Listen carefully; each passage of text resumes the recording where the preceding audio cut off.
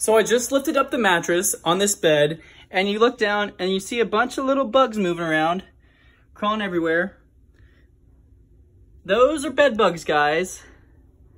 Little, some of the smaller ones are white. The bigger ones are darker colored.